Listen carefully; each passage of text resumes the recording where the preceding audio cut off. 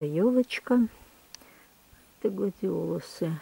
Выросли от 30 до 50 сантиметров высоты. Так что теперь будем ждать, когда гладиолусы пустят стрелки и появятся цветочки. Я так надеюсь. Так. Выглядит.